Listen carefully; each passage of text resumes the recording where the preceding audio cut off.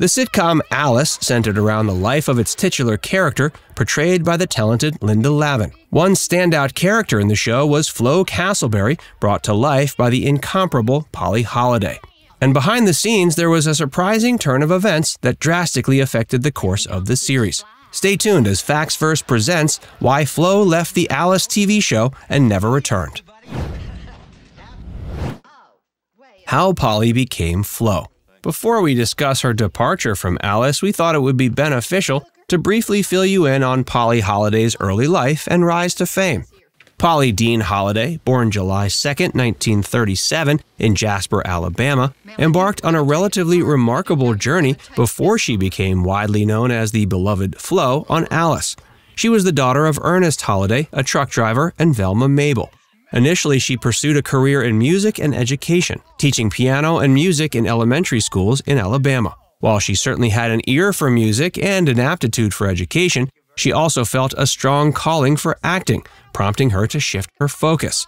After considering her options and weighing them against her dreams, she made a bold move and relocated to Sarasota, Florida, where she joined the prestigious Asolo Repertory Company. As part of the largest repertory theater in the southeastern U.S., Holliday honed her craft and gained invaluable experience.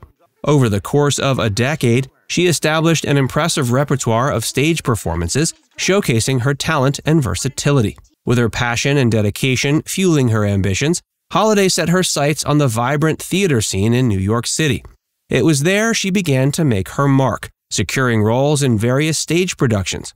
One notable achievement was her involvement in the 1974 Broadway hit All Over Town, which further solidified her reputation as a talented actress. During this time, Holliday formed a close friendship with renowned actor and director Dustin Hoffman, who recognized her talent and potential. Thanks to his support, Holliday landed a small yet memorable role as Ned Beatty's resilient and tough minded secretary in the critically acclaimed 1976 film All the President's Men. This pivotal moment on the big screen contributed to shaping Holliday's on screen persona as a woman of remarkable presence. And it was her remarkable talent and magnetic screen presence that ultimately led to one of the most cherished sitcoms of the 1970s, Alice. With her endearing portrayal of Flo, the no nonsense and quick witted waitress, Holliday enchanted audiences and became an integral part of the show's initial success. Flo's farewell. Flo's departure from Alice occurred in the series' fourth season. The specific episode that marked her exit is titled Flo's Farewell. It aired February 24, 1980. In the episode, the storyline revolved around Flo's decision to leave Mel's place to pursue new opportunities. The departure of Flo was explained in the episode as her receiving a job offer to be the head hostess at a high class restaurant in Houston. This unanticipated opportunity compelled her to bid farewell to her colleagues and the regular customers at Mel's Place.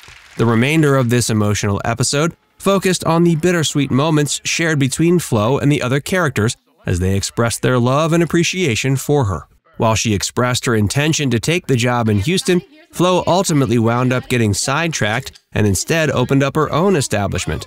This premise ended up serving as the premise for the short lived spin off series, aptly titled Flo.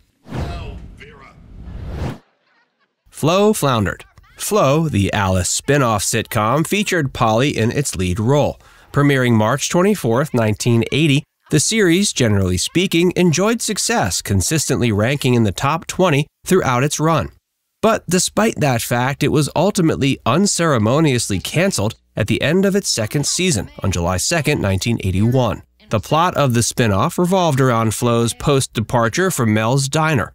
After leaving her job as a waitress, she embarked on a new adventure as a restaurant hostess in Houston. But on her way, she stopped in her hometown of Cowtown, Texas, and impulsively purchased a rundown old roadhouse that held nostalgic memories for her.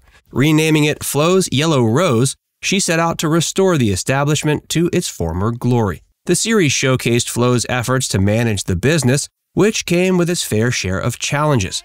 The conflicts she encountered included dealing with a chauvinistic bartender named Earl, portrayed by Geoffrey Lewis, and an obnoxious banker named Farley, played by Jim B. Baker, who held the mortgage. Additionally, Flo faced thorny family dynamics, contending with her burdensome mother Velma, portrayed by Sudie Bond, and her straight laced sister Fran, portrayed by Lucy Lee Flippin. Flo's Yellow Rose also had a colorful staff. Her childhood best friend Miriam, played by Joyce Bulifant, served as a waitress and bookkeeper. The chain smoking piano player, Les, was portrayed by Stephen Keep. Other recurring characters included Randy, the mechanic from the adjacent garage, played by Leo Burmester, and Chester, a regular customer, played by Mickey Jones.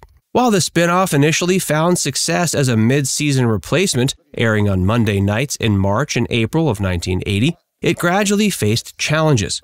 The show's time slot was moved several times upon its return in the fall of 1980, leading to declining ratings. Ultimately, Flo concluded its run after 29 episodes. Despite the cancellation, Flo's character never returned to Alice except for the use of her image in old clips featured in the series finale. The spin-off showcased Polly Holliday's talent and the popularity of her character, but various factors, including the time slot changes and declining ratings, contributed to the show's ultimate discontinuation.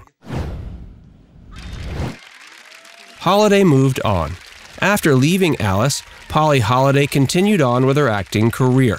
And as we mentioned, she didn't return to the show and was briefly replaced by Diane Ladd as Flo, followed by Celia Weston in the role. In the early 80s, Holliday made two brief returns to series work. She was cast as a replacement for Eileen Brennan on CBS's Private Benjamin in 1981 after Brennan suffered a severe car accident. Unfortunately, the show was canceled before Holliday could film more than three episodes. Holliday also starred as a tough but fair prison guard in the ABC sitcom adaptation of Stir Crazy, which aired from 1985 to 86 and was based on the 1980 comedy film starring Gene Wilder and Richard Pryor. But that show too was discontinued after only four months. While successful television roles post Alice seemed to keep eluding her, Holliday found greater success as a character actress in feature films, where she showcased her talent in various roles. She notably portrayed the mean spirited Mrs. Deagle in the 1984 film Gremlins, a role that saw her meet a fittingly nasty fate. She also drew laughs as Sally Field's nosy neighbor in the 1993 comedy hit Mrs. Doubtfire.